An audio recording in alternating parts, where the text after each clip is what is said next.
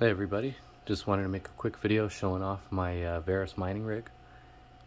Um, so right here I have three phones. I have a Pixel 4a, Pixel 4 XL, and a Samsung S10 Plus.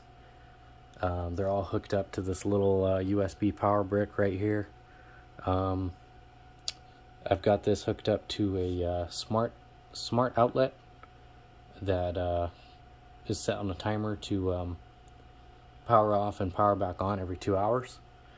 And that keeps them to where the battery is able to discharge a little bit and recharge so the battery doesn't go bad.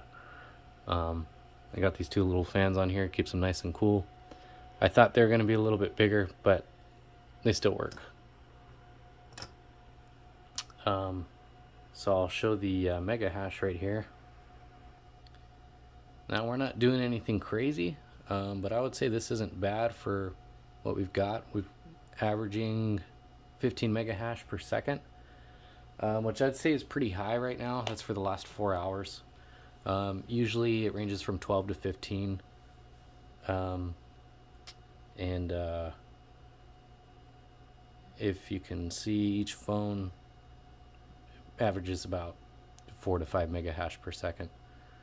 Um, so far I've been running this for I would say almost two weeks.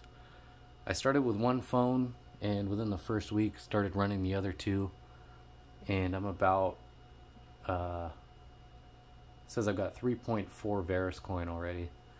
Um, so it's pretty efficient. Um, you know, it's not too bad.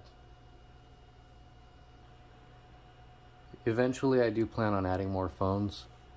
Um, but with this little setup right here, just with the three phones, uh, two of them were old phones I had lying around. The S10 Plus I was able to pick up uh, at a really, really cheap price just locally.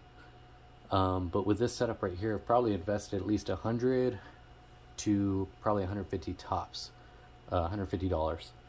Um, which for a coin that is worth as little as Verus coin is, that I would say that's a pretty pretty high investment.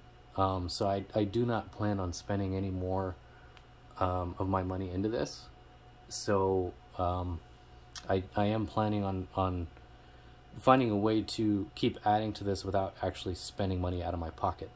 So if that's something that you'd be interested in, go ahead and subscribe and stay tuned for more. Thanks.